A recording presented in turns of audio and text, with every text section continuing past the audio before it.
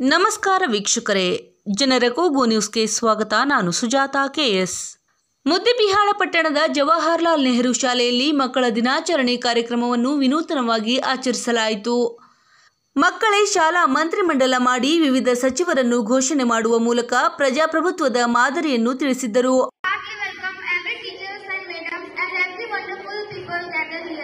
May I have your attention to start this session.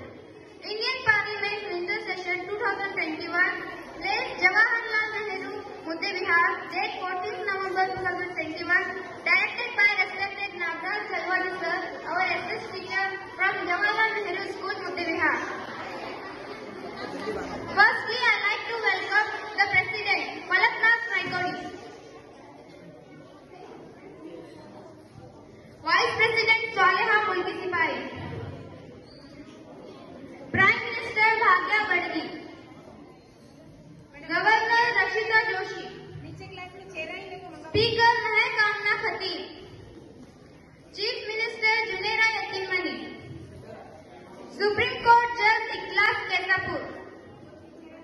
Home minister Afreen Dafedar DC Daneshwari Tirgundi DYSP Irfan Gurika MLA of Madhya Bihar Shifa Gurika lawyer Atiya दर्द